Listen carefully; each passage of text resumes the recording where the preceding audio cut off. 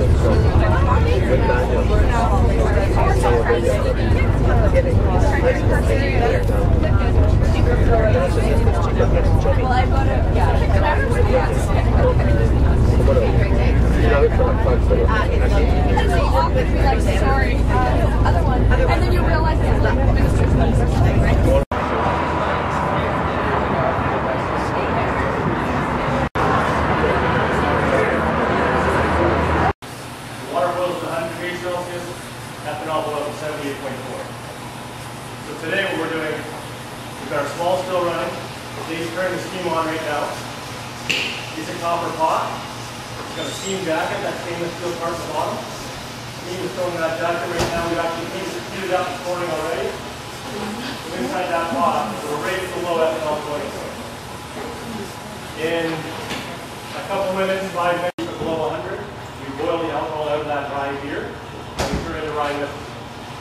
Do that all in that one still, which uh, kind of a new way. It's a big capacity. Yet we also have this smaller one where everything uh, finishes off. So it starts over here, then we'll take it for a small one like this. This guy is really, really unique in its own right. It's got these two columns. So the newer Texan distilling, the rectified columns. What they do is they've got these plates. These guys I can open and close. These guys have plates between every one of those sight glasses. They're stationary. They're different style of plate, but they do the same thing. What they do is they form a layer of liquid on each plate.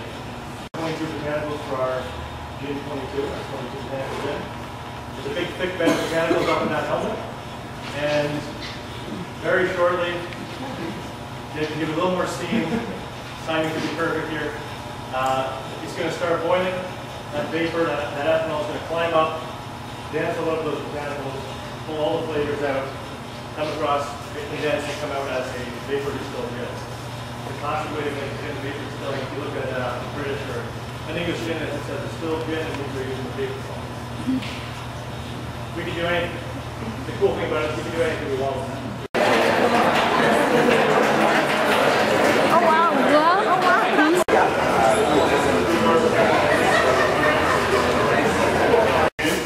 an ounce of the Dillon's Rose with uh, Ontario rhubarb that we made into a syrup, a bit of lemon and lime, egg white, and cream to give it that milkshake texture, topped up with a little soda water, and a dash of rose water as well. left it out of the box, but we went to South Africa and covered the murder. And then it's an ounce of 30, and then three quarters lemon, three quarters lime, So fast.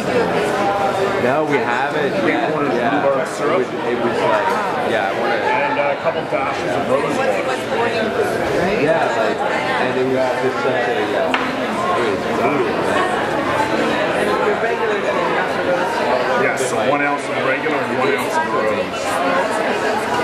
Rose in the rhubarb go so nice.